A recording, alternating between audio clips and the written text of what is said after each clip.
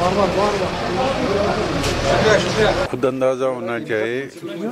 ہندوستان دنیا کو بول رہا ہے۔ میں نے چھبیس جنوری کو ہندوستان کو جمہوری ملک بنایا۔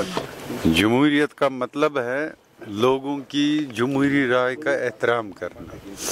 خود ہندوستان نے کشمیری لوگوں سے نہ صرف انٹرنیشنل کمیونٹی میں، بلکہ اپنے پارلیمنٹ میں اور یہاں لال چوک میں ان کے وزیر اعظم نے یہ کہا کہ ہم نے کشمیری لوگوں کو جمہوری حق کا وعدہ کیا ہے کہ وہ اپنے مستقبل کا خود فیصلہ کریں گے۔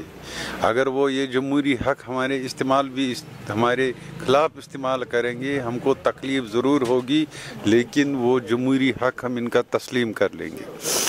لیکن آج جب وہی کشمیری قوم، وہی سی جمہوری حق کو مانگ رہی ہیں کشمیری لوگوں کو قتل کیا جا رہا ہے نوجوان کو تحتے کیا جا رہا ہے، تلاشی کے نام پر south Kashmir, north Kashmir central Kashmir میں گھروں کو لوٹا جا رہا ہے، گھروں کو بلاسٹ کیا جا رہا ہے، گھروں کو آگ لگائی جاتی ہے، ہزاروں کی تعداد میں جیلوں میں بند پڑے ہیں۔ یہ ہے جس جمہوری حق کا خود ہندوستان نے وعدہ کیا، اسی جمہوری حق کو مانگنے کے لیے کشمیری لوگوں کے ساتھ یہ حال کیا جا رہا اس لیے خود ہندوستان یہ بتائے کہ ان کو کوئی جمہوری دن منانے کا کوئی حق بنتا ہے، ہم کو گرفتار کر کے لے جا رہے اور ہندوستان کہتا ہے ہمارا ملک جمہوری ہے۔